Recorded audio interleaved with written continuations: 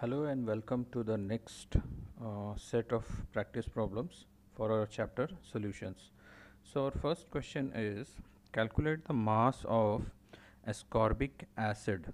Ascorbic acid is what? Vitamin C uh, to be dissolved in 75 gram of acetic acid to lower its melting point by 1.5 degree Celsius kf is equal to 3.9 kelvin kilogram per mole so this question basically belongs to uh, depression of freezing point colligative property so हमारा relation हम use करेंगे क्या होता है F equal to K F into W two into thousand upon M two into W one so हमें इसमें निकालना है कि डब्ल्यू टू की वैल्यू क्या होगी डब्ल्यू टू की वैल्यू फाइंड आउट कर सकते हैं। सी यहाँ पे डेल्टा टी एफ़ की वैल्यू दी हुई है।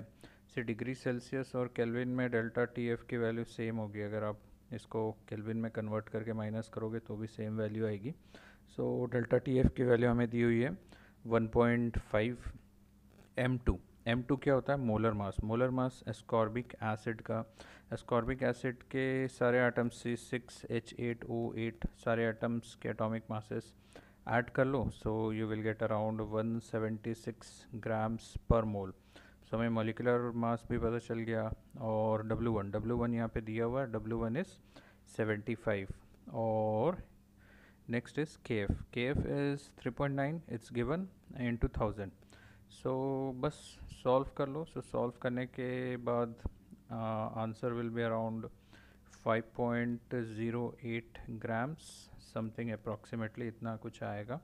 So this was the simplest question I guess so simple direct question है। इसमें ज़्यादा कुछ एप्लीकेशन नहीं है okay so it was a straight forward question so let's move on to the next problem so next problem is calculate the osmotic pressure in pascals by a solution prepared by dissolving one gram of polymer of molar mass one eighty five thousand in four fifty M L of water at thirty seven degree Celsius see this problem basically belongs to osmotic pressure जो colligative property हमने पढ़ी थी fourth colligative property so expression क्या होता है? Pi is equal to N upon V into R T so simple हम सारी values put करेंगे और हमें आंसर मिल जाएगा। सी एन की वैल्यू कैसे निकालेंगे? एन क्या होता है? Number of moles so number of moles of solute कैसे आएगा? सी, यहाँ पे वन ग्राम दिया हुआ है और इसका मोलर मास भी दिया हुआ है। तो एन की वैल्यू क्या हो जाएगी? One by one eighty five thousand okay next is V volume जो होती है वो जनरली हम लीटर्स में लेते हैं। सो फोर फिफ्टी एम है। तो अगर इसे हम लीटर में कन्वर्ट करेंगे तो क्या करेंगे? थाउज़ेंड से डिवाइड करेंगे और थाउज़ेंड से डिवाइड करेंगे तो हमारी वैल्यू कितनी आ जाएगी? It is around zero point four five litres so V की वैल्यू मिल गई. नेक्स्ट इज़ टेम्परेचर टेम्परेचर यहाँ पे दिया हुआ है थर्टी सेवन डिग्री सेल्सियस तो थर्टी सेवन पे क्या करेंगे? टू सेवेंटी थ्री ऐड करेंगे और उसे कैलविन में कन्वर्ट कर लेंगे. सो so, कैलविन में इसकी वैल्यू आएगी थ्री हंड्रेड टेन अब आर की वैल्यू सी आर की वैल्यू जो होती है आ, अलग अलग होती है for different units so R की वैल्यू अगर हम लीटर एटमॉस्फेयर में लेते हैं तो it is around zero point zero eight two one litre atmosphere और उसे पास्कल्स में कन्वर्ट करेंगे क्योंकि हमें आंसर चाहिए पास्कल्स में। सो so, पास्कल्स में क्या होता है? Relation see one atmosphere is equal to one point zero one three into ten to the power five pascals होता है। This is the conversion of unit so अगर हम zero point zero eight two one जो atmospheric units में है उसे pascal में convert करेंगे तो क्या करेंगे? से उसे मल्टीप्लाई करेंगे। सो so, हमारी वैल्यू करीब करीब आती है आर की 8.31 point three one into ten to the power three so R की वैल्यू भी पता चल गई। सो so, अब सिंपली हमारे इक्वेशन को हम सॉल्व करेंगे and we will get the answer so solve it yourself and you can tell me the answer in the comments box okay so let's move on to the next question so next question is based on Van't Hoff factor 2 gram of benzoic acid is dissolved in 25 gram of benzene shows a depression in freezing point equal to 1.62 Kelvin. Kf is 4.9 Kelvin kilogram per mole. so what is the percentage association of acid uh, as it forms dimer in the solution see ये van't Hoff factor जो हमने पढ़ा था उस पर based question है। So it might be in more than one two two steps so let's solve first of all हम uh, ये देखेंगे परसेंटेज एसोसिएशन क्या होता है। सी आपने सपोज़ दो मॉलिक्यूल डाले हैं और दो मॉलिक्यूल अंदर जाने के बाद वो एक मॉलिक्यूल मतलब एक जॉइंट मॉलिक्यूल फॉर्म कर लेते हैं। So that is known as association और उसका परसेंटेज मतलब 100 से मल्टीप्लाई करना है so that is percentage association so ये केस कब आता है? जब हम वेंट ऑफ़ फैक्टर को कंसिडर करते हैं। So van't Hoff factor consider करना है हमें इस प्रॉब्लम में। सो so, सबसे पहले आ, हम मोलर मास कैलकुलेट करेंगे क्योंकि जब भी एसोसिएशन या डिसोसिएशन होता है तो सबसे पहला इफ़ेक्ट किसको करता है? मोलर मास को ही करता है या तो मोलर मास बढ़ जाता है या मोलर मास कम हो जाता है। Okay so let's calculate the molar mass see what is the relation delta T F is equal to K F into W two into thousand upon M two into W one so this is the relation so delta T F यहाँ पे दिया हुआ है।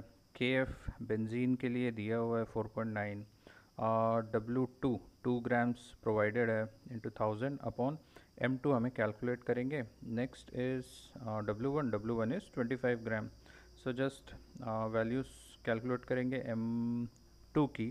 सो M two की value आती है हमारी around two forty one point nine seven. So this is the molar mass of benzoic acid calculated from the colligative property जिसमें हमने एसोसिएशन कंसिडर किया है।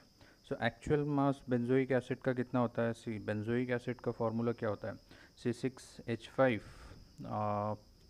C O O H so this is the molecular formula of benzoic acid so molar mass calculate कर लीजिए molar mass करीब करीब आता है 122 के around so see there is a difference actual molar mass से कैलकुलेटेड मोलर मास जो हमारा आ रहा है दैट इज़ अराउंड 122 और जो एक्सपेरिमेंट करने के बाद जो आ रहा है it is around 241 so obviously there is an association so क्या करेंगे आई की वैल्यू कैलकुलेट करेंगे सो so, आई कैसे कैलकुलेट करते हैं so I is equal to normal molar mass upon abnormal molar mass या फिर theoretical molar mass upon experimental molar mass so 122 को डिवाइड करेंगे 241 पॉइंट इससे सो so, हमको मिल जाएगी आई की value so next is alpha की वैल्यू कैलकुलेट करना है. सो so, अल्फ़ा के लिए रिलेशन हमें पता है क्या था? So alpha is equal to one minus I upon one minus one by N see N क्या होता है? एन हमने पढ़ा था जब कंसेप्ट ऑफ़ एसोसिएशन पढ़ा था तो एन की वैल्यू क्या आएगी? सी, यहाँ पे डाइमर फॉर्म कर रहा है। डाइमर मतलब दो यूनिट्स आप डाल रहे हो तो वो बन रहा बन रहा है एक unit so one by N की वैल्यू आएगी one by two so one by two क्या होता है? ज़ीरो पॉइंट फाइव सो सारी वैल्यूज़ पुट करेंगे. So we will get alpha so alpha की वैल्यू आ गई.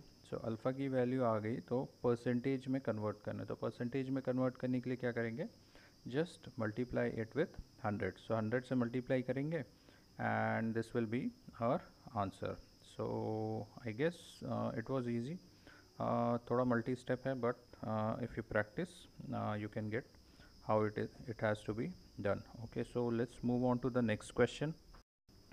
So next question is 0.6 ml of acetic acid having density 1.06 grams per ml is dissolved in 1 liter of water the depression in freezing point observed for this strength was 0.0205 degrees celsius calculate the Van't Hoff factor and the dissociation constant of acid से यहाँ पे हमें निकालना है I और निकालना dissociation constant से dissociation constant अपने आयोनिक इक्विलिब्रियम में पढ़ा होगा जब एसिड्स एंड बेसिस का डिसोसिएशन कांस्टेंट कैलकुलेट करते थे दैट इज़ के ए सो के ए की वैल्यू निकालना है हमें और आई की वैल्यू निकालना है। So let's do it so what is given 0.6 point six M L acetic acid दिया हुआ है और उसकी डेंसिटी दी हुई है।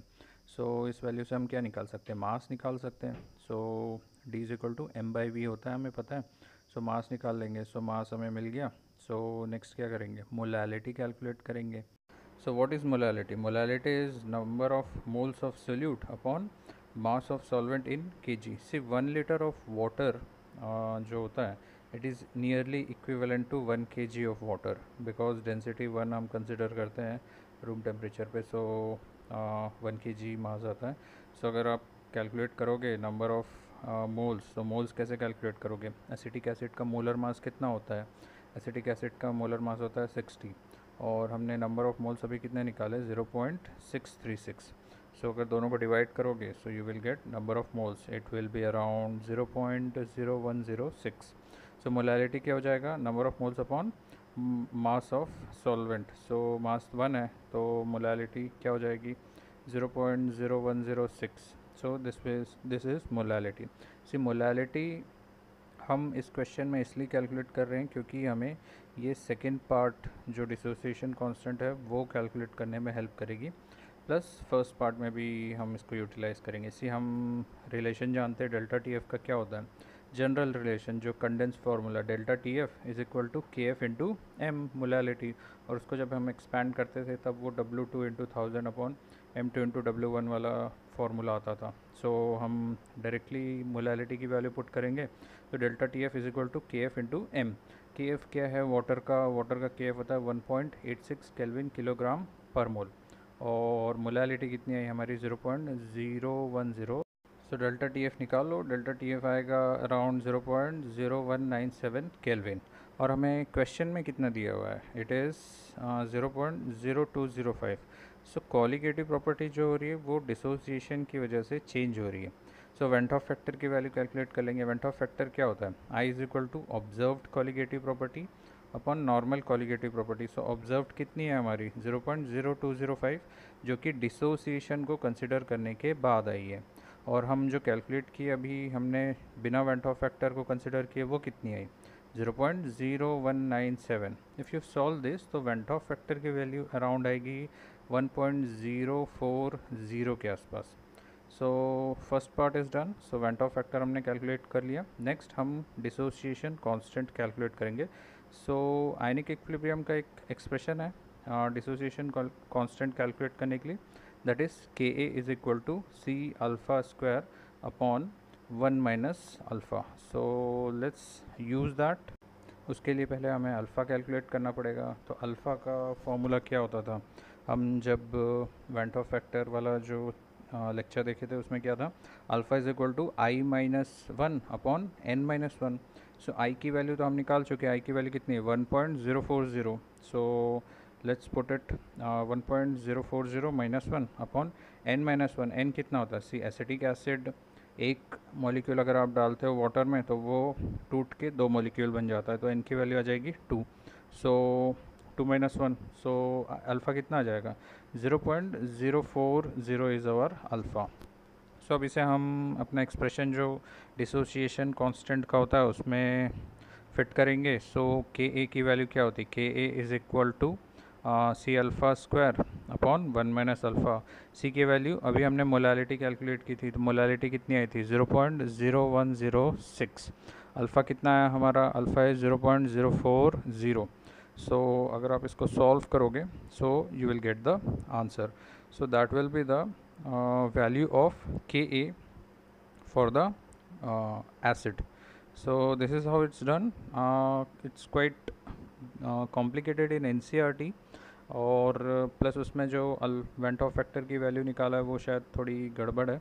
सो आंसर उसमें डिफरेंट आ रहा है और हमारा आंसर जो आएगा, वो थोड़ा डिफरेंट आएगा। Okay so it doesn't matter you should know how to solve it okay so next question is determine the osmotic pressure of a solution prepared by dissolving S O four in two litre of of at twenty five degree Celsius assuming that it is completely dissociated. So, this word dissociated, जो use हो रहा है, dissociated या associated, अगर लिखा हुआ है तो हमें समझना है कि हमारी जो कॉलिगेटिव प्रॉपर्टी का जो एक्सप्रेशन है, उसमें हमें वेंट ऑफ़ फैक्टर को इंक्लूड करना ही करना है okay so what is the expression for osmotic pressure normal जो एक्सप्रेशन है pi is equal to N upon V R T but van't factor include करना है तो हमारा एक्सप्रेशन चेंज होकर क्या हो जाएगा? Pi is equal to I into N upon V into R T तो सबसे पहले आई कैलकुलेट करते हैं। के टू एस ओ फोर एक ऐसा सॉल्ट है जो वाटर में जाने के बाद तीन पार्टिकल्स या तीन आयंस देता है। See K two S O four water में गया तो दो टू के प्लस आयन्स देगा प्लस वन सल्फेट आयन देगा। तो टोटल नंबर ऑफ़ पार्टिकल्स कितने हो जाएँगे? थ्री पार्टिकल्स हो जाएँगे? ओके सो आई की वैल्यू क्या आ जाएगी? थ्री आ जाएगी। नेक्स्ट हमें एन एन यहाँ पे देखिए ट्वेंटी फाइव एम जी है। तो ट्वेंटी फाइव एम जी इसको हमें सबसे पहले ग्राम्स में कन्वर्ट करना पड़ेगा। तो ग्राम्स में कन्वर्ट करोगे तो इसकी वैल्यू आती है zero point zero two five grams thousand से डिवाइड करोगे। सो so, इसकी वैल्यू आ गई। नेक्स्ट इसका molar mass K two S O four का molar mass it's around one seventy four so अगर आप वन सेवेंटी फोर से डिवाइड करोगे तो इसका मोलर मास मिल जाएगा next volume.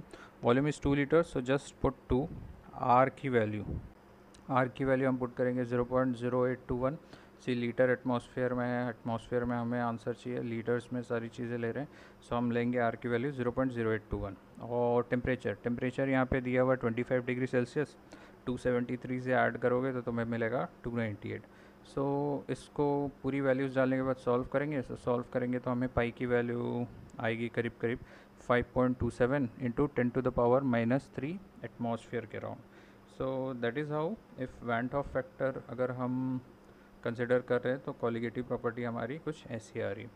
सी सब आ, इस क्वेश्चन को आप बिना वेंट ऑफ़ फैक्टर कंसिडर किए भी सॉल्व करने की कोशिश करना. जस्ट जो आंसर आया उसको थ्री से डिवाइड कर देना तो आपको आंसर आ जाएगा. So you can solve it both ways अगर वेंट ऑफ़ फैक्टर इंक्लूड करना है तो भी आप सॉल्व कर सकते हो। अगर नहीं इंक्लूड करना है तो भी आप सॉल्व कर सकते हो। सो so, हम एन e के और क्वेश्चन सॉल्व करेंगे in the next video okay see you then